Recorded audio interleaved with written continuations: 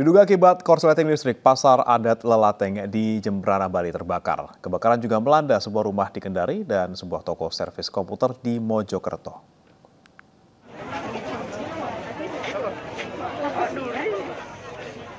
Puluhan kios di pasar adat Lelateng, Jembrana, Bali terbakar pada Sabtu malam. Api pertama kali muncul dari blok sembako dan peralatan rumah tangga. Dugaan sementara kebakaran terjadi akibat korsleting listrik. Lima mobil damkar dikerahkan ke lokasi. Pemadaman sempat terkendala sulitnya sumber air dan banyaknya warga yang berkerumun.